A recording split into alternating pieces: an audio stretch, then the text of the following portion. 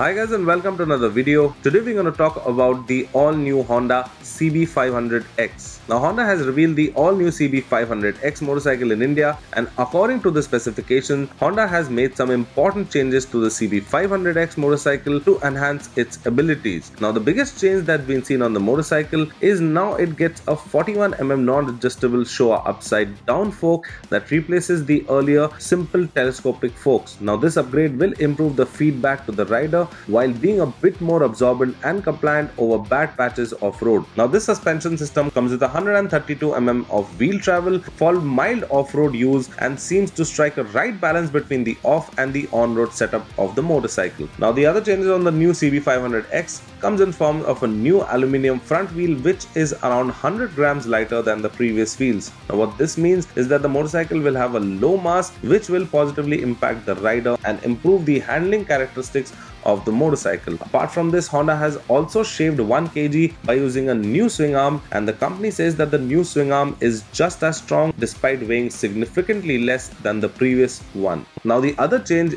also includes the updated braking hardware on the new CB500X. Honda is now using a twin 296mm disc setup at the front instead of just using a 310mm disc setup at the front. Now the last change that the Honda CB500X has gone through is that now it comes with a new pearl organic green and black color options for the 2022 models.